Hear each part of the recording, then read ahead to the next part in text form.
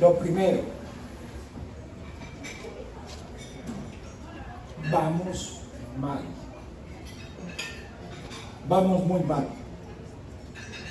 Y vamos muy mal empezando. Y quiero hacer esta reflexión. Hoy invité a un amigo muy especial, llama Juan Peláez. Lo invité a Juan Peláez es porque yo fui, cuando manejé el Club Unión, su papá era uno de los socios. Y el papá de Juan Peláez, Fernando Peláez, que era un gran empresario, tenía una oficina en la avenida Oriental. Y decía la oficina American Airlines. Todo el mundo le decía si él estaba loco y dijo, el día que yo logre que American Airlines aterrice en Medellín, cabemos en el mapa del mundo. Y lo logró Juan, tu papá.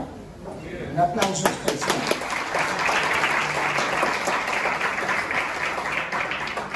Es muy triste, como le decía Sandra, la directora de Cotelco, que ya los gremios no son tibios, son fríos. Y entonces ella yo salí en algún programa. Le no señora, yo quiero recordar lo que hacíamos antes. Que sí funcionaba con una unión de gremios. Alaico, Acopet, Acopecón, Acodres, Anato, Cotelco. Había un presidente de todos esos gremios. La verdad tuve el honor que me nombró Humberto López López, que en paz descanse. Pero cada comunicado que hacíamos por Medellín lo firmamos todos. Y aparte de eso se unían la Oficina de Turismo Medellín y la Secretaría de Turismo del departamento. Hoy la pobreza es absoluta. Nadie firma nada. Y acaban de morir dos aerolíneas como Viva y, ya ayer Ultra y nadie dice nada. Pero nos afecta todo el destino Medellín y Colombia, porque la principal base de Viva era Medellín y Antioquia, y la principal base de Ultra era Medellín y Antioquia. Por favor, ¿cuántos empleos directos? ¿Cuántos indirectos? ¿Cuántos los tours? ¿Cuántos la conectividad? ¿Cuántos los empresarios? Da vergüenza cómo estamos actuando ni la alcaldía, ni la gobernación, ni nadie. Los gremios tenían que estar unidos ya en una rueda de prensa, no salir, voy a decir, de una forma incoherente solo. Porque por lo menos algo tendríamos que hacer de bulla. Nos está pasando como los soldados que mataron, los mataron y sale el ministro a decir lo siento mucho. No, es un atropello lo que nos está pasando en el país. Lo otro que les digo. ¿Se acuerdan del famoso GEA? Es que cuando salía el tío mío y firmaban todos los presidentes del GEA, Jorge Molina Moreno, Darío Mónica, Darío Múnera, Fabio Rico, Adolfo Arango, todos salían. Y era una sola bandera que está pasando con las empresas de Antioquia. Qué tristeza. La prensa. No es sino que miren la entrevista hoy de la prensa bogotana. Y lo único que buscan es que el ministro diga que Ultra se, se, robó, se robó la plata. No, señor.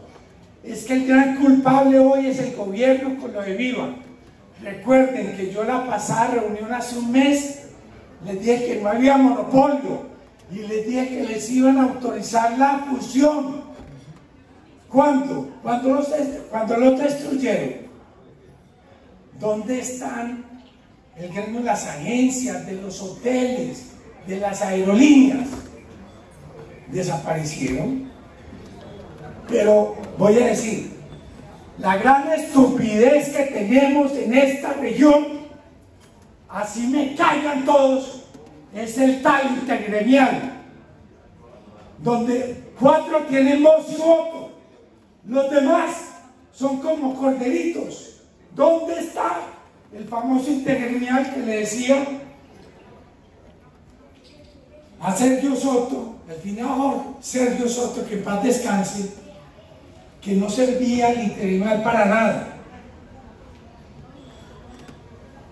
Y a nuestro amigo eh, Jorge Mario Ángel, que también estuve leyendo, no sirve para nada. Porque callaron los gremios.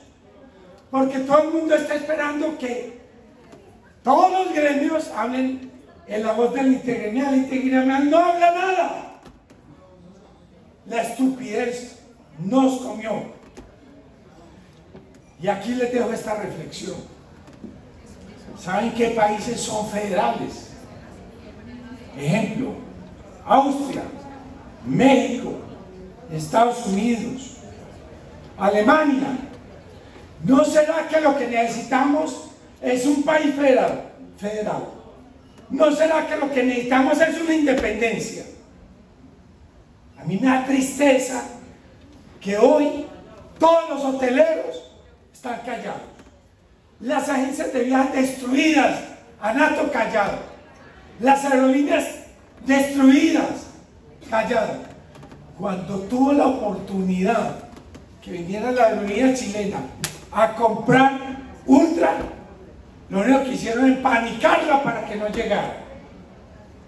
Y lo único que dicen es se robaron la plata. No, señor. Dejemos de seguir siendo títeres de los comentarios respaldados en la ignorancia. Y la ignorancia es solamente no saber y no investigar. Hoy en el mundo hay más de 350 aerolíneas exitosas. Y las que hoy fracasaron en Colombia es por culpa de que no les tendimos la mano. Gracias.